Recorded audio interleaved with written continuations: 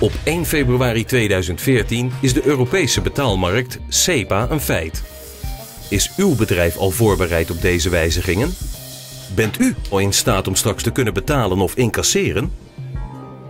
Doe de Rabo SEPA-check en maak uw eigen actieplan. Bereid net als rond ter bocht van Mond Medisch Centrum uw praktijk voor op IBAN en SEPA